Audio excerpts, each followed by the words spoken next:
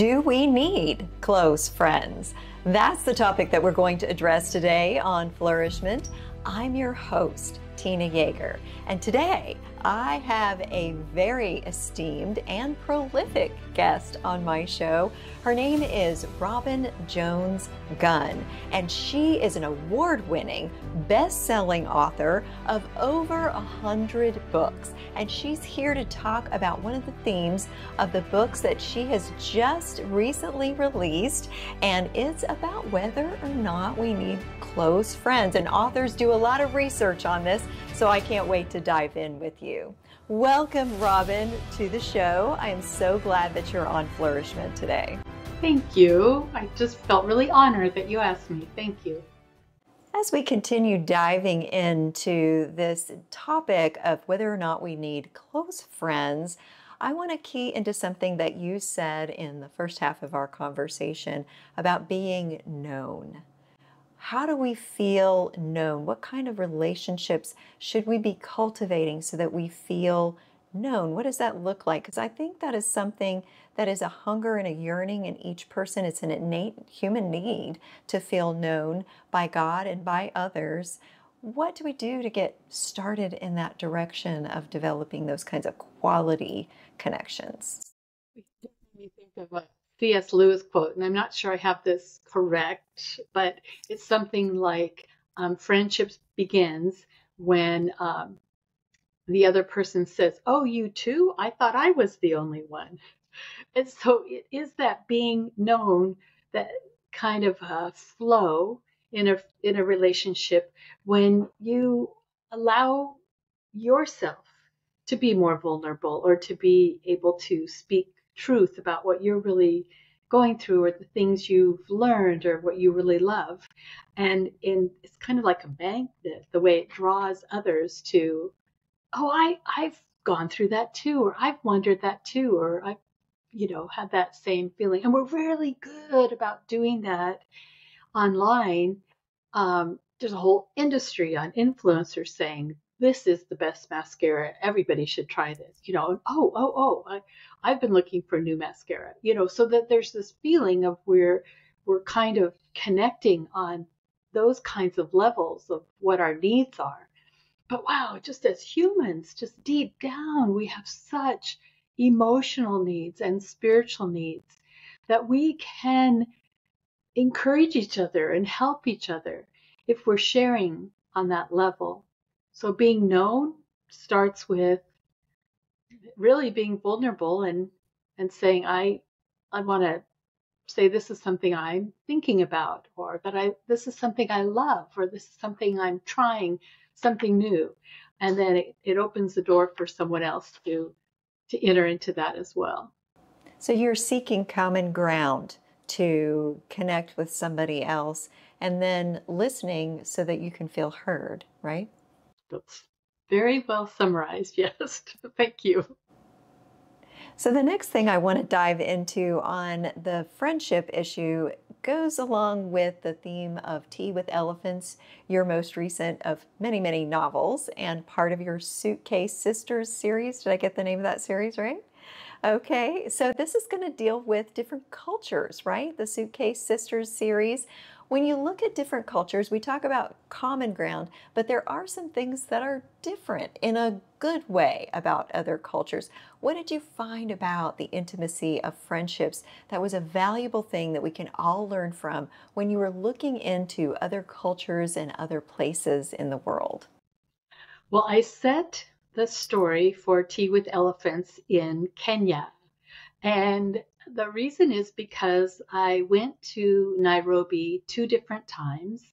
I have a sweet and wonderful friend who's from Nairobi. She and I met at a writers' conference in England many years ago, and we have just kept up our long distance relationship for many years.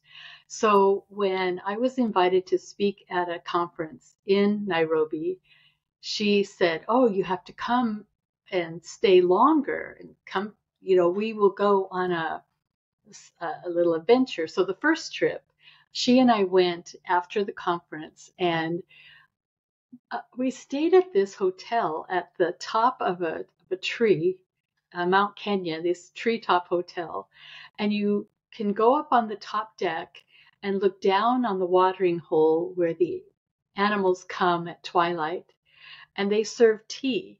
And so we, we put on our scarves and acted like posh ladies and went up there. They served us with, with crystal or, or, you know china teacups and saucers and we looked down on the watering hole and said this is the ultimate we're having tea with elephants and i, I knew you know in my writer's file of many ideas that that would be a fun book to write someday so by having that friendship and and the years that i've known her as an african woman who has been up against many things that I, I will never experience, and how God has worked in her life and the things she's accomplished. She's amazing.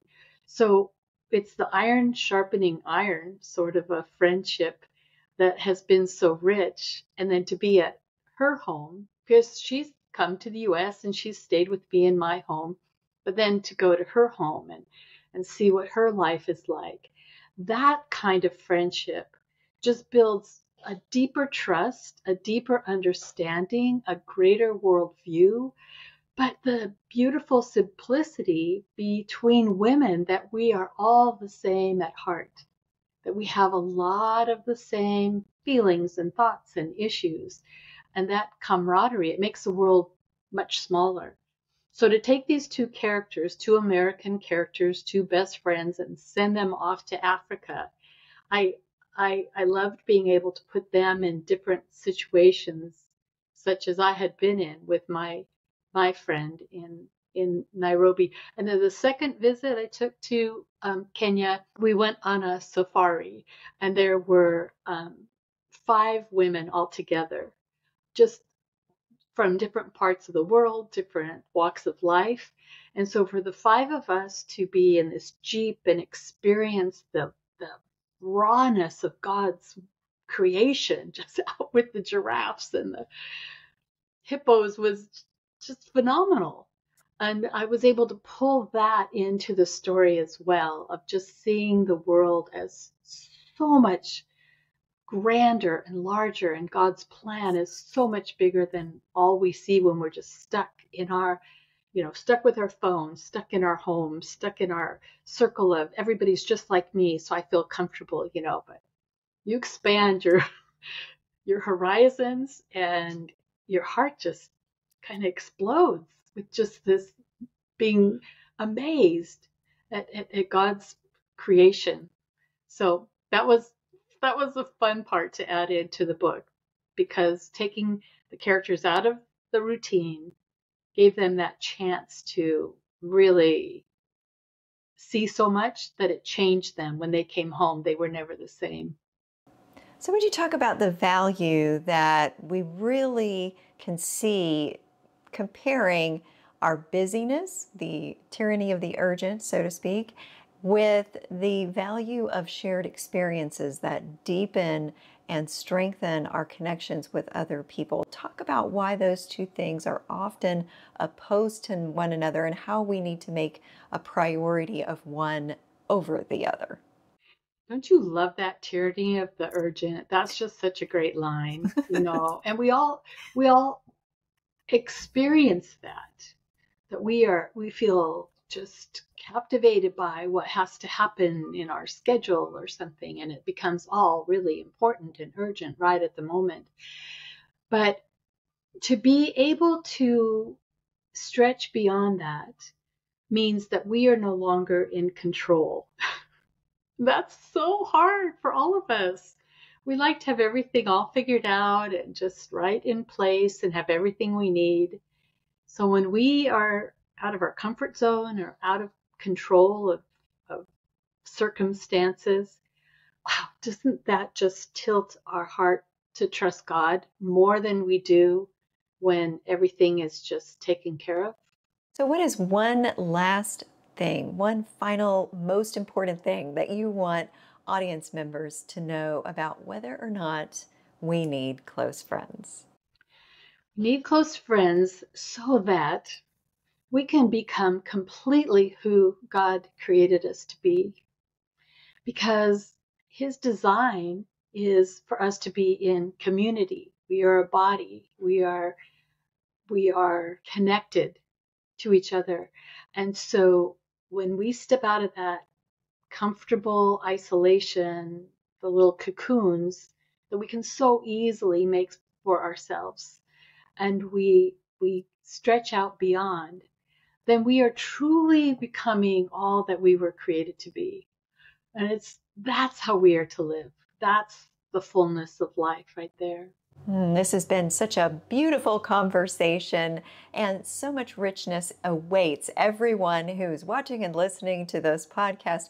I'm sure that they would love to experience more depth, more breadth of all of your wonderful words and messages and rich, rich writing. So, how can people stay connected with you, Robin, and get a copy of Tea with Elephants or one of the many other hundred books that you have to offer?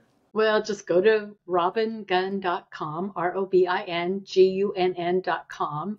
And, you know, for women who love to listen to podcasts, I co host a podcast that's titled Women Worth Knowing. Cheryl Brodersen and I just talk about women in history, contemporary women. I mean, every woman is a woman worth knowing. But we tell stories of ordinary women who trusted God and He did extraordinary things. So um, that's another way to get connected. Uh, reading the books, uh, listening to the audiobooks, uh, going with ebooks, or listening to the podcast Women Worth Knowing. I hope that all of you listening were inspired and encouraged to deepen and strengthen your relationships with others and create those meaningful friendships that'll grow you, that'll help you to become, as Robin said, who God really intended for you to become as a person, as a believer. And of course, I also hope that you come back for the next episode of Flourish-Meant.